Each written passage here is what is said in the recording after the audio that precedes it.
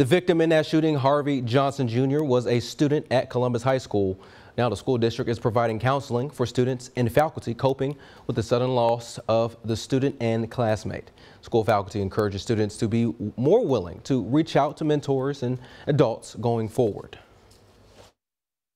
It's difficult for students, they're um, for young people, but we know we just sometimes the decisions that we make, you know, they have a lifelong, um, can sometimes have a lifelong effect. So we just have to make sure that we understand if we have anybody that you can speak to, reach out to, um, someone that you, uh, a mentor, somebody, someone at the school that you want to talk about your situations, you, please, you know, we're available to do that because we know sometimes it's hard to, to just share how they're feeling. And so we just want them to understand that we, we're here to listen, listen and be a part of you know, some of the things that they're going through. That's part of our initiative is, with the district is basically trying to support our young people. As part of the Adopt a Block initiative, CMSD along with a local church walked one of the adopted blocks in support of the students and Johnson's family.